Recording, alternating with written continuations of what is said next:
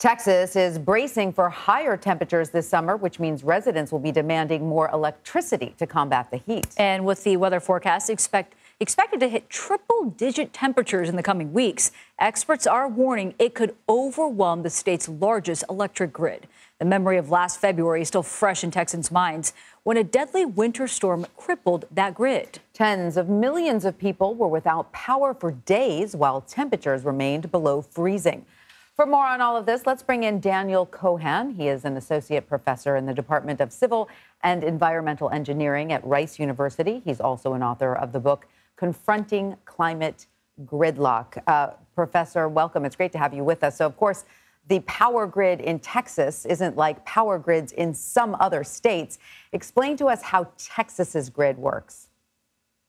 Right. Texas is unique among all the states in the continental U.S. in deciding to run its grid as an island. So the entire western United States, all the way up through western Canada, is connected uh, through a large interconnection of grids.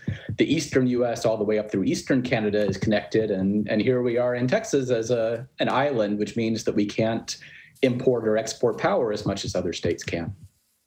And Professor, the grid was once again running short on power last summer, creating concerns the electric system there just can't deliver the power to people who need it the most. So, what is behind that exactly? Is it because it's closed off? Yeah, we don't have the opportunity to bring power in when we need it most. Um, last summer was, for the most part, okay. Really, the big was the, that deep freeze that we got mm.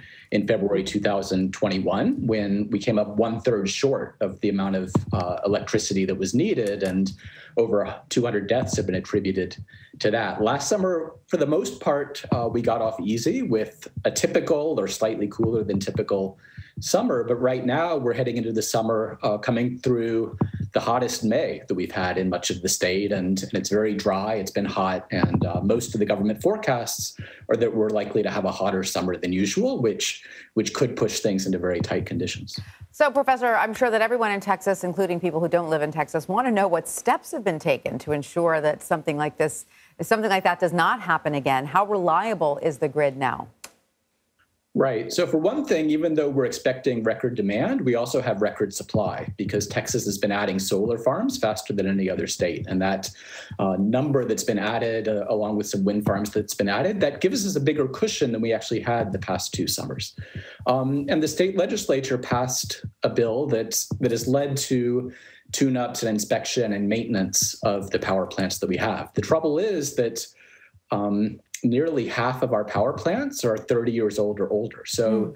they've been inspected, they've been maintained, they've had steps taken, but we're still counting on a very old fleet of uh, coal and gas and nuclear plants to get us through the summer. Well, given all that, is there the possibility at all the grid could potentially fail anytime soon?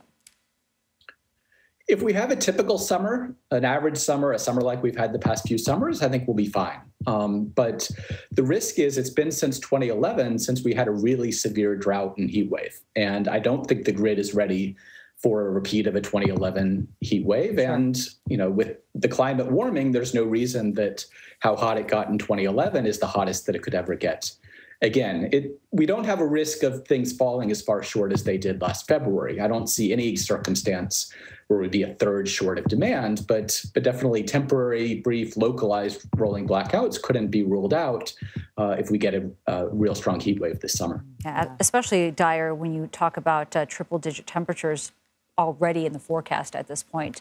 Uh, Daniel Cohan, thank you very much for joining us. Thank you.